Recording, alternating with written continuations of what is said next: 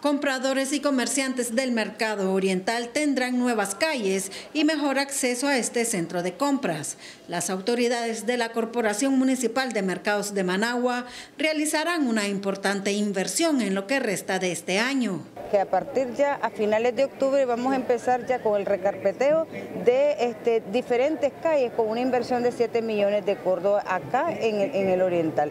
Y el próximo año tenemos prácticamente 12 millones también en la inversión tanto de asfalto y concreto hidráulico en mejorar también las condiciones de las calles. Durante el recorrido que realizó la alcaldesa de Managua, constató que los comerciantes de este centro de compras mantienen los descuentos y promociones. Mantenemos promociones constantemente, eh, generalmente a veces cuando compras dos artículos, el tercero te sale un poco menos de la mitad del precio y siempre estás bien atendido. ¿Mantiene descuento para el Ah, claro, hay de 500, de 450, 250, 180, un y medio, dependiendo los estilos.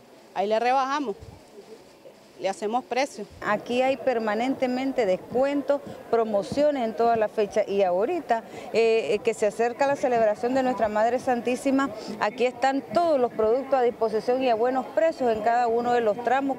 En los ocho mercados de Managua se ha estado invirtiendo en la mejora de infraestructura para mejorar la calidad y atención en estos centros de compras. Tania Joya TV Noticias.